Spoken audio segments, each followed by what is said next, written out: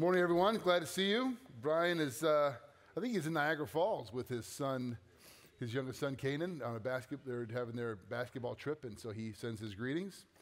He did not send me a joke this morning, so I took the liberty. of, it is dangerous. Normally I can blame him. But my daughter and I like puns, so I thought I would uh, have some fun with you. I just burned 2,000 calories, and that's the last time I leave brownies in the oven while I nap. Most people are shocked when they find out what a bad electrician I am. My girlfriend broke up with me, so I took her wheelchair. Guess who came crawling back next week?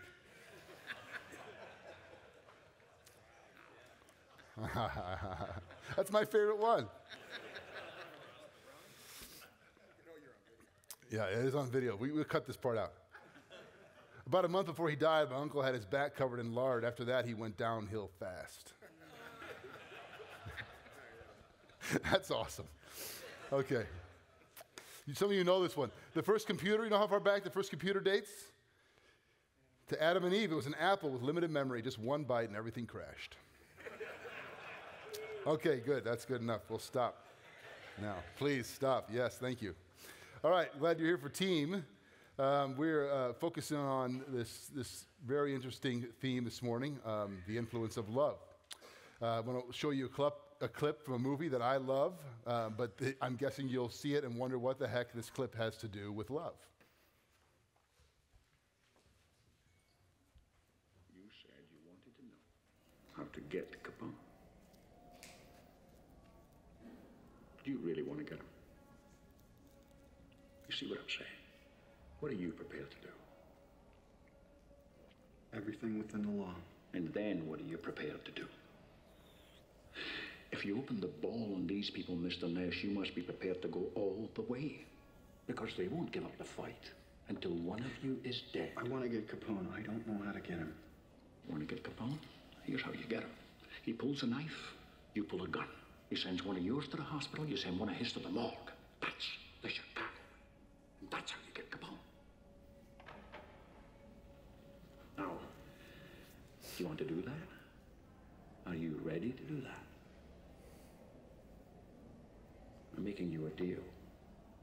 Do you want this deal? I have sworn to put this man away with any and all legal means at my disposal, and I will do so.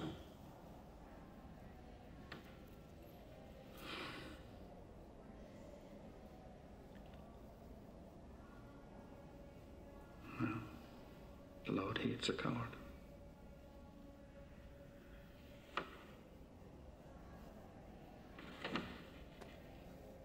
Do you know what a blood oath is, Mr. Ness? Yes. Good, because you just took one. I'm not sure the Lord hates a coward when you're planning to put one in the morgue. It's in the Bible, but you know, Sean Connery. You get the idea. That's the movie The Untouchables. And that little conversation about the Chicago way is interesting to me. I thought the Chicago way was about corrupt elections for mayor, but apparently I was wrong. You might be thinking, what does that movie clip have to do with love, the way of love? Well, clearly, Sean Connery, who's worked on, if you know the story, he's, the, he's a beat cop from Chicago, and he's been recruited by Eliot Ness. And boy, does, doesn't Kevin Costner look like a different person? That's, that's an old movie now. Anyway, he's uh, been recruited by him to help get uh, this, the, the Al Capone, you know the story. And he's trying to teach him, you got, you got to fight different. There's a different way in Chicago if you're going to go after these people, a different way. And that's really at the heart of this. Jesus is teaching us a different way. And there's a couple of meanings that hopefully that clip will make, make clear to us. Let's read Matthew 5, 38 to 48. This is from the Sermon on the Mount, Matthew 5, 6, and 7. Those three chapters, we call them the Sermon on the Mount. It's unlikely that that whole, all three chapters were one continuous discourse. Some of it likely was, chapter 5, 6, and 7. I think what we have there is more like a best of Jesus' teaching, kind of put together. But here you've got this section of his discourse. He's teaching his disciples and the crowds that are listening in about a different way. And he begins this with this phrase, you've heard it said, which he uses over and over and over again to highlight how his way is different. You've heard that it was said, eye for eye, tooth for tooth. But I tell you, do not resist an evil person. If anyone slaps you on the right cheek, turn to him the other cheek also. And if anyone wants to sue you and take your shirt, hand over your coat as well. If anyone forces you to go one mile, go with him two miles. Give to the one who asks, and do not turn away from the one who wants to borrow from you. You've heard that it was said, Love your neighbor and hate your enemy. But I tell you, love your enemies and pray for those who persecute you, that you may be children of your Father in heaven. He causes his sun to rise on the evil and the good, and sends rain on the righteous and the unrighteous. If you love those who love you, what reward will you get? Are not even the tax collectors doing that? And if you greet only your own people, what are you doing more than others? Do not even pagans do that? Be perfect, therefore, as your heavenly Father is perfect. Jesus is showing his disciples, or teaching his disciples, and us a different way, the way of love. It's what the Apostle Paul in 1 Corinthians 13, it's read at almost every wedding, you know what we call it the love chapter. He says, I will show you a more excellent way, the way of love, to be contrasted with the Chicago way. Before we can talk about the way of love, let's talk about what love is. It's a misunderstood and misused term all the time in our culture. The biblical definition of love has nothing to do with your emotional state, how you feel in a moment. We say that kind of thing. I love you with all my heart. I really, we use love to describe how we feel. The biblical definition of love might be defined this way it's the fixed desire for the other person's ultimate good, regardless of how you feel in a moment. So, my steady desire for your ultimate good, even if it costs me something, cost Jesus his life, regardless of how you feel in a given moment. That's love. So when Jesus says, love someone, love your neighbor, love your enemies, he's saying, have a fixed desire and willing to sacrifice for their ultimate good, regardless of how you feel in a moment. Just take your marriage for a minute, guys. If you only, quote unquote, loved your wife when you felt loving toward her, and I'm not talking about romantic love, I'm just saying if you only acted toward her in loving ways when you felt like it, how, how would your marriage be? Better or worse? you don't want to answer. Right? You'd have a crappy marriage if you only did it when you felt like it. The point is, I, we're to serve her even when we don't feel like it. The fixed desire for her ultimate good, even when I don't feel like it, or regardless of how I feel, or even if it costs me something. And that's true. Jesus says, apply that to your enemies, which is a, a crazy, radical thing to say. First thing we see I want to talk to you about is the law of revenge. You saw it there in the, in the clip. He says the Chicago way is revenge, which is he pulls a knife, you pull a gun. He puts one of yours in the hospital, you put one of his in the morgue. You, you go beyond. And I, I, read a study from about the Stanford University Sociological Research Project uh, in the mid 1980s, where subjects were paired up in twos. And they were similar in, so, in socioeconomic and ethnic backgrounds. So it wasn't there, there, was, there were similarities, someone like you. And the idea was that um, you, the first person put their finger in this contraption, and the other person was to give them a certain amount of. They were given a certain. They, they were given not by the other person, by uh, controller, a certain amount of pressure that caused pain, not severe pain, but a little bit of pain. And then they were asked to give the, to give their partner the same experience. And 100% of the time, the person that had received it from the controller gave more pain uh, th- than they received to the person across the table from them. 100% of the time. Why? Not because they're all mean and cruel, but because pain, uh, perceived pain, is it's often it's perceived greater than what's sent. You always experience your pain as greater than somebody else's. You always experience it, and so that they saw it 100% of the time. Uh, I read a book uh, a couple years ago called Shake Hands with the Devil by Romeo Dallaire. He was the UN Security General in Rwanda during the Great Genocide. And it's a, kind of it's a, it's a historical account from a guy who was on the ground there, and it's a memoir. And he ended up trying to take his life after that over the extreme crushing guilt of what he witnessed and his inability to stop it. In the last couple chapters, he has kind of an, it's really an anatomy of human evil. Saying what he witnessed was years of tribal warfare and you know generations of the Chicago way. You pull a knife, we pull a gun. They kill one of your family, you kill their whole family. And there was this deep, ingrained desire to do greater harm to the other. That was just part of the fabric of the culture.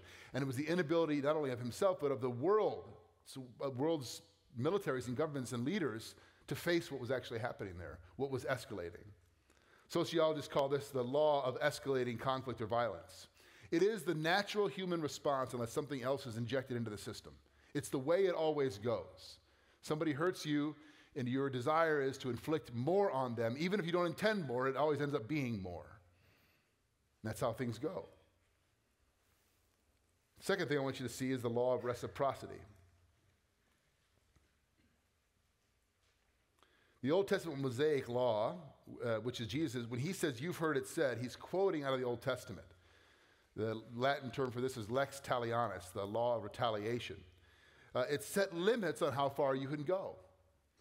So, for example, in Leviticus 24 and Deuteronomy 19, Jesus uh, is quoting from these two chapters of the Old Testament.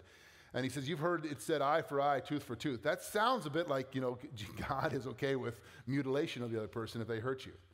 There's no place where we see ever in the, in the Old Testament this law applied to, the, to individual revenge or individual response. So the Old Testament law was not that if you injure my eye, I have the legal right to go and take a, you know, you, do you ever see the old Robin Hood movie with Kevin Costner? I'm going to carve his eye out with a spoon. Why a spoon, cousin? Because it'll hurt more. It's dull, you twit, right? You ever see that? Is that just me? Anyway, so, well, now you know. Like he's, it doesn't mean that I can go now and, extra- and personally extract some, your eye or cut off your hand. It was, a, it was a way of describing limits put on retaliation that could be used in the judicial system, which was already set up in Deuteronomy 18. So they had a judicial system with the priests. We read about Moses doing this when they were wandering the wilderness. And the law that he was to apply was the principle of limited retaliation.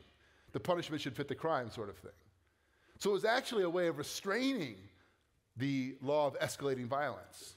It was God's way of, the, of this, in this ancient culture. Now remember, the Israelites were slaves in Egypt for 40 years. Slaves are pretty harshly treated. They had unintentionally absorbed the behavior of the culture around them. And now they're on their own. And God's saying there's a different way. We're going to put limits on how far this can go. And by the way, it's not you individually that can apply this. It's, it's a law that I'm giving to those that I, leaders over you I've established. So when Jesus says, I tell you, you've heard, you've heard it said eye for eye, tooth for tooth, but I tell you something different. He's not saying there's no, there sh- we should never have any civil punishment or that we should never defend ourselves. He's saying, don't take this law and make it into your personal revenge because the Pharisees of his day had done that. They had interpreted this as you could seek personal vengeance, personal retribution for injuries. So Jesus is drawing a distinction between civic or government punishment and our personal call to love our neighbor and even our enemy as ourselves. Say, leave that to them, but you have a, there's a different call on your life. In Jesus' day, this is what was going on. He's separating that, those responsibilities. He, God never intended this to be about interpersonal relationships. And he goes beyond this and he tells us to love our enemies. Now, that's a bit of a shocking thing. Loving our family, our friends, our neighbors sometimes comes pretty personally and naturally to us, doesn't it? Loving our enemies? Not so much. Who wants to cause that? We want to cause them the same pain they caused that, that they caused you. Now, I've heard criticisms of this passage saying that this standard is impossible to live up to, that this forbids self defense, that this is just an example of why you can't follow. In fact, Reinhold Niebuhr, a famous American theologian who others have quoted, in fact, I've, I've heard, I heard Jimmy Carter, Hillary Clinton, Barack Obama, in different speeches quote the principles of Niebuhr, who, who said that this was uh, unrealistic to live this way. Is it? Is it unrealistic to live this way, according to Jesus' law? We all look for loopholes, actually, because we think violence comes with a disclaimer. There's a reason why it's necessary. But I'm going to talk about turning the other cheek for a minute. He gives that one, right? He gives that example here, doesn't he? He says, if, if um, anyone slaps you on the right cheek, turn them the other cheek also. So I need a volunteer. Can I have a volunteer up here? Come on, Dean. Come on up here. I'm smaller than I used to be, Dean, so it won't hurt too much. Look at Dean, it's so nimble. Okay. So if someone slaps you on the right cheek, so Dean could do it to me. If he slaps me on the right cheek, he would use his left hand, right? So, but he would he actually wouldn't do that in the ancient culture because your left hand was anybody used for other things. Anybody know? Wiping, right? So that, that, so you wouldn't use your left hand. You'd use your right hand. That was the hand you used for work and other things. And Dean would have to hit me on the right cheek. How would he do it? He'd have to backhand me. He'd have to hit me that way. So he'd reach across and hit me this way, right? Ow, Dean, take it easy, right? That's, it's, it's the slap of an insult, the slap of a superior to an inferior. Is, this is the image, we don't always see it that way. That's what Jesus is saying, right? It's a smack across the face to an inferior person. So what does Jesus say? If someone slaps you on the right cheek, boom. Turn to him the other cheek also. What does that mean? Turn this cheek. Now, how is Dean going to hit me in this cheek? He can't do it this way, the slap of a superior to an inferior, right? What does he have to do? He's going to have to punch me. He's going to have to hit me in that cheek. He's going to have to slap me with a direct slap or a punch into this cheek. Now, you see, this is subtle, but I think Jesus is saying something to his audience that we miss. He's saying if someone treats you as an inferior, looks down on you, what do you do? Do you just take it? Thanks, Dean. Appreciate it, man. Appreciate it. Don't, no, no slapping. Right? he's saying, do you just take it? Do you just get. I think he's saying something interesting. He's saying, yes, we, we don't retaliate, no lex talionis, but we do it in a different way. We actually receive that injury in a, in a dignified way, in a way that says, I'm not your inferior, but neither am I going to retaliate against you. Kind of when Jesus, when Pilate says, Don't you know I could have you killed? What does Jesus say? Actually, you can't do anything to me unless God allows it.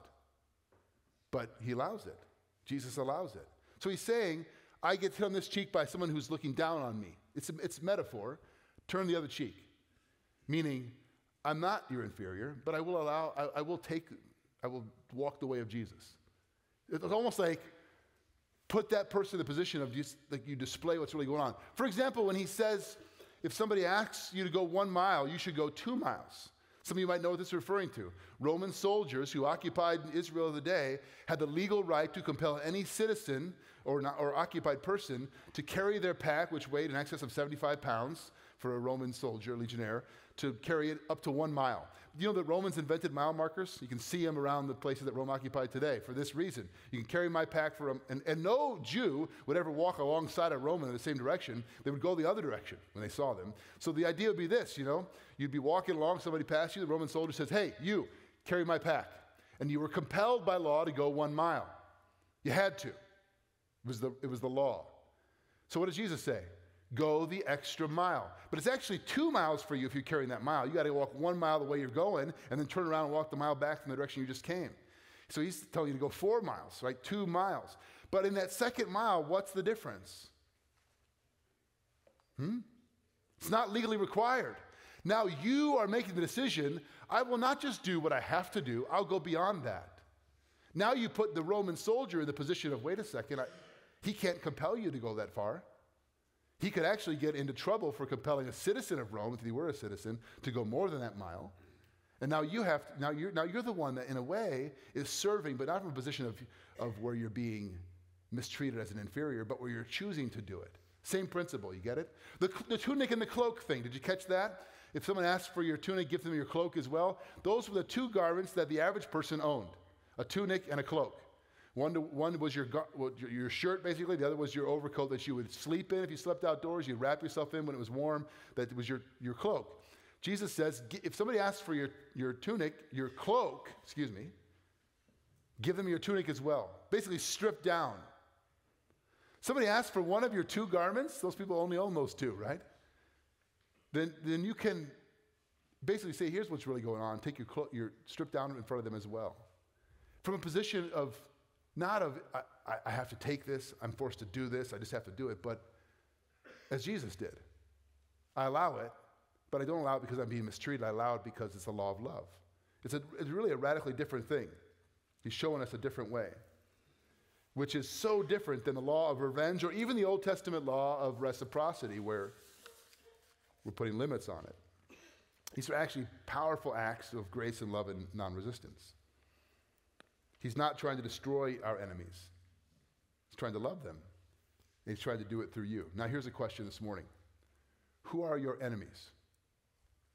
I mean, it's easy when you read this to think, well, okay, Jews and Romans, they were natural enemies. Those who want to, I haven't been backhanded across the face. It's been a while since that happened. I don't know who my enemies are, right? I hope it doesn't happen to you at work, you know? Does that happen to you often? Bill. no, probably not. But who, are, who, are, who do you count as these people are against me? I see them as the problem.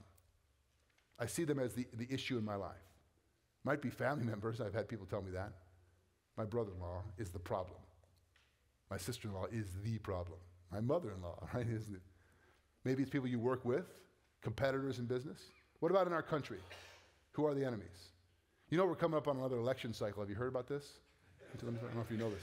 You know how smoothly the last one went, 2016? It really was such a good thing for our country. I felt, you know. Who are the enemies? People across the aisle? Well, what, how would you apply the law of love? Can you, can you hear Jesus in the church saying, this is, the, this is my way? It's not the Chicago way, but it's my way. And it's radically different than what people see in the world. It's not, it's not going only as far as you have to go because you're required to, it's going beyond. That's the law of love. So I'm, I'm, I'm going to stay up here, but you don't want to dismiss you for your tables. But just for a minute, have a discussion around your tables. When, is it easy or hard for you to identify your enemies when you read this passage? And who would they be? Ready? And I'll bring us back together in just a minute.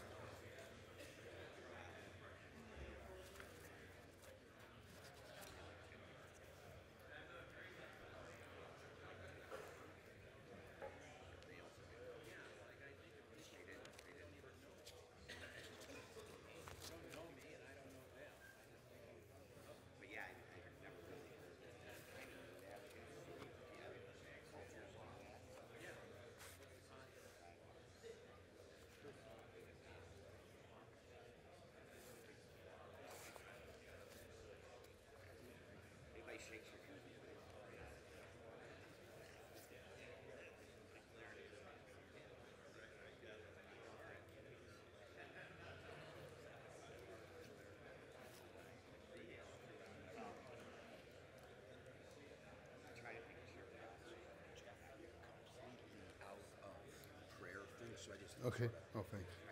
made a couple.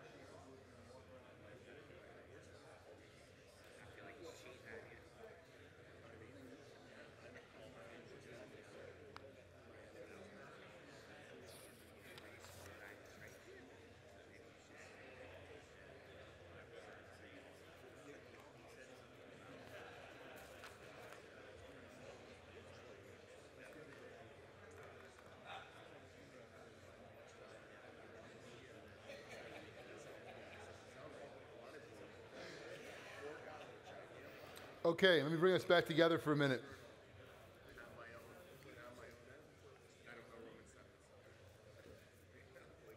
The word enemy can trip us up, I think. Because most of us don't think of ourselves as having enemies that way. We think about, you know, people that are evil or.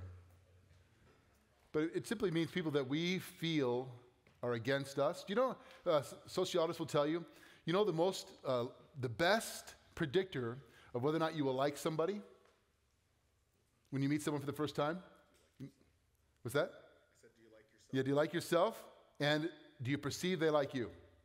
It's not race, it's not class, it's not, you know, if the first time you meet someone, if you perceive that they like you, that's the best indicator that you would like them. So enemies, just think of it in terms of those, those people we perceive to be against us or that we think that we are against. And our enemy almost always carries some part of our own dark side in them. It's what you see some aspect of a part of yourself that you don't like, to Vince's point, in them. Colin Powell tells a story that when the Soviet Union fell, he realized they had a $500 billion arsenal, the, the uh, 330,000 troops in Germany, this is the US, I mean, And its entire reason for existing was predicated on the need to fight the Soviet Union. And then the Soviet Union fell. Powell sat across the table from President Gorbachev, and Gorbachev said to him, General, you will have to find a new enemy with a twinkle in his eye. I'm sure you'll find one soon. And we have, both on the national level and the individual level. We do. We almost look for this. We almost subconsciously need people to be against. They're the problem. Jesus is saying, let me tell you about a different way, a different way of thinking, a different way of living. Because God doesn't hate our enemies, He's not against them, even though they and we may be against Him sometimes. He loves them. This is why He says God causes His sun to shine on the righteous and the wicked. Right? Can you imagine? Can you drive down the street at harvest time and say, that field must belong to a Christian because it's fruitful? You see a bunch of corn that's withering, ah, there's an atheist, right? Doesn't work that way. Jesus is saying, look, just look at, look, at the, look at the life you've been given, all of you. Do you ever look at people that you know, thumb their nose at God, do their own thing, and live in ways that flaunt His laws, and, and you see that they're, they're doing great in life, and feel like that doesn't seem fair? My life is hard. The, the Psalms are full of people asking that question. Jesus says God's indiscriminate with His general grace, His blessings. Now, there's coming, a, there, there's coming a day when all wrongs will be righted and judgment will come, but He's saying in this life, can you be the same? Can you be gracious to all people? Can you be loving? I read uh, a story about during, under the apartheid regime in South Africa. The government was going shanty neighborhood to shanty neighborhood trying to clear them out. They had one particular area that they wanted this land. It was very difficult to you know, displace these people. So they decided to go during the day, or when most of the men were gone and working in the fields, and few people would be home. Uh, they surprised a bunch of the women, and the soldiers came in with the bulldozers and the tanks, and they announced that the, the people had five minutes to clear out before the bulldozers came in. Just going to level everything. That's the way they did it. And some of the women rallied together of that little shanty village, and they stripped completely naked and stood in front of the bulldozers. It so wigged out the soldiers that they didn't know what to do, and they just left. In a way, I think Jesus is saying that. Someone wants to bulldoze your house? Take off all your clothes. What? It's a different way of responding. Martin Luther King Jr. said it this way Through violence, you may murder a murderer, but you cannot murder murder. Through violence, you may murder a liar, but you cannot establish truth. Through violence, you may murder a hater, but you cannot murder hate. Darkness cannot put out darkness. You need light to do that. Jesus is trying to get us to reach for the light, respond with the light in this passage, a different way. And uh, my mind, probably like yours, automatically goes to government policies, systems, and that kind of thing. He's talking about you and your heart and my heart, how you see people, how you treat people in your life. He's not talking about what the policy should be about incarceration and punishments on the civil level. He's talking about you. He's talking about me. That's what changes the world. That's what makes the greatest impact. It is not who gets elected in 2020. That's important. I have some trepidation about it. I'm sure you do. But that's not what changes the world. It's people who decide there's a different way. There's a different way to live. There's a different way to see. There's a different way to love. I'm going to give you a break now. You have some questions at your tables. Uh, you take your, get some more coffee, donuts, whatever you. I don't eat. I don't eat donuts anymore, but I used to like them. And then have discussions around your table. After a few minutes, I'll come back up and lead us in prayer. I think we're out of the prayer cards. So if you have a prayer request, just find a scrap of paper and drop it up here, and I'll be happy to include those. Thanks.